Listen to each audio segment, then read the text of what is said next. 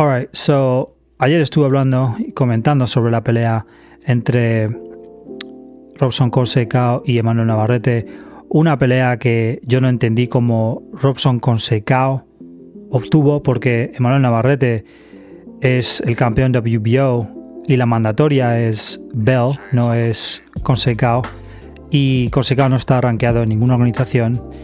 Y antes de pelear contra Navarrete tuvo una pelea donde era un no contest con un boxeador llamado Polanco. So, no sé cómo obtuvo acceso para esa pelea, pero el chico ni siquiera estaba rankeado. Pasó también lo mismo con Oscar Valdés. Oscar Valdés no estaba rankeado en ningún organismo y de alguna manera u otra consiguió ser la mandatoria de Manuel Navarrete. So, tenemos aquí a dos boxadores que han, que han peleado contra Manuel Navarrete y ninguno estaba rankeado en ningún top 10. Yo ayer, si tenía dudas sobre cómo haría Emanuel Navarrete con Shaki Faster, se me aclaró todo ayer. La pelea que tuvo Emanuel Navarrete contra Robson me demostró que este chico de verdad no tiene ninguna cualidad defensiva y estaba recibiendo golpes de un boxador con Robson Consecao que no tiene la mejor selección de golpes. Lanza golpes demasiado básicos y pudo clavar a Emanuel Navarrete. Y lo curioso de todo es que Emanuel Navarrete le puso dos veces abajo, pero como sacó perro Robson en la última ronda, Navarrete no cerró bien. Y me di cuenta como que estaba como que se cansó en esa pelea, pero no cerró nada bien en la ronda número 12. Algo muy interesante fue ver cómo los medios trataron a Shakur Stevenson en comparación con Emmanuel Navarrete. Shakur Stevenson tuvo una pelea donde no fue la más vistosa, la mejor para ver, pero hizo lo suficiente para ganar la pelea con Edwin de los Santos con ese estilo. Pero Emmanuel Navarrete empató con un boxeador que ni siquiera está rankeado top 10. Y la última pelea que tuvo, tuvo un no contest con un boxeador llamado Polanco, que nadie lo conoce. So, eh, muy interesante el doble estándar con todo eso, pero no voy a decir mucho. Yo no veo a Emanuel Navarrete como David Benavidez. ¿Ok? Yo no veo lo mismo. Con David Benavidez sí veo defensa. ¿Es la mejor defensa del mundo? No, pero por lo menos sí veo defensa. Con Emanuel Navarrete absolutamente no veo ninguna defensa. Lo que veo es Miguel Berchet 2.0. Eso es lo que yo veo de Manuel Navarrete. Y Manuel Navarrete, la única razón por que no ha perdido más peleas es porque ha evitado un montón de boxadores en diferentes divisiones. Ha evitado unificaciones. Ha podido, ya tuvo la oportunidad de hacer una pelea con Angel Dio. Yo quería ver esa pelea. Angel Dio me gusta mucho como boxador. Es de Nuevo México, Albuquerque. Se saltó de la división y para pelear un título en 126 libras, WBO vacante que dejó Shakur Stevenson y volvió a hacer lo mismo cuando Shakur Stevenson volvió a subir a 135 libras y Emmanuel Navarrete lo peleó en 130 libras.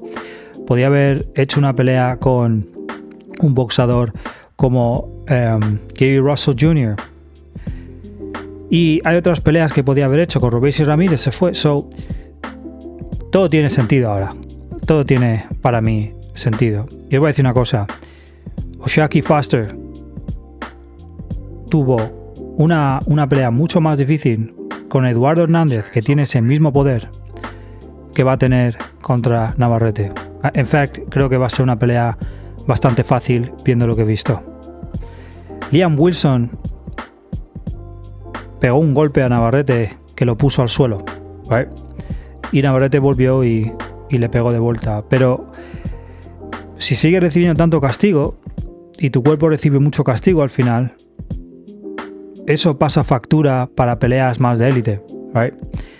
Y Oshaki Faster ha peleado con boxadores como Eduardo, um, eh, Hernández, ese boxador que incluso el mismo Navarrete hizo sparring, dijo que le hizo daño en las costillas, que pegaba muy duro. Enfrentó contra el mexicano Miguel Román y ha enfrentado contra otros boxadores también que tienen mucha pegada. Eh, también peleó contra Rey Vargas, no, no es un noqueador, pero you know, tiene más de un 60% de pegada, eso es bueno, más de un 50% yo considero que tienen pegada. Y totalmente frustró a Rey Vargas, y Rey Vargas tiene mejor boxeo que Manuel Navarrete. No, Manuel Navarrete, si se enfrenta contra Oshiaki Faster, va a pasarle lo que le pasó Miguel Berchet. Eh, Emanuel Navarrete va a perder esa pelea y, va a perderla mal porque deja demasiadas entradas y solo necesitas un boxeador que pelee compacto, que sepa defenderse con los guantes y sepa moverse y se ha acabado el rollo. Y simplemente tiene sentido que no haya querido unificar o haya evitado estos boxadores porque al final del día, a nivel de élite, si tú no tienes defensa, vas a perder. E, es así de fácil. Si tú no tienes defensa, te van a noquear. Es así. Adam Konaki, un boxeador que es muy excitante, me gustaba. Estaba noqueando a todo el mundo, pero recibía muchos golpes. Nadie le pudo poner abajo hasta que se enfrentó con el sueco este, el chico este, a que se enfrentó contra Deontay Wilder. Y le puso abajo dos veces, pero venía con una infusión destructora. Así es como yo veo a Navarrete y va a ser otro Miguel Berchet para mí. So, eh, si se enfrenta y se atreve a unificar contra Shaki Faster, que ya la ha llamado para unificar, eh, va a perder esa pelea, Emmanuel Navarrete. No, no, no creo que. Con lo que vi con, este chico, con Robson con no. Eh, y Shaki Faster tiene una mucha mejor selección de golpes y sobreviviendo a Eduardo Hernández en México, eso me demuestra eh, todo lo que tengo que ser, porque para mí Eduardo Hernández pega igual de duro. Eh, in fact, tiene casi el mismo nivel de chaos que... Eh, incluso hay personas que dicen que Eduardo Hernández pega más duro que Emanuel Navarrete. So, así es como está. Alright, pizza para todo el mundo, un like, suscríbete al mejor canal de boxeo en español inglés y visita nuestra página web de la boxing.com para más información y más noticias. Deuces.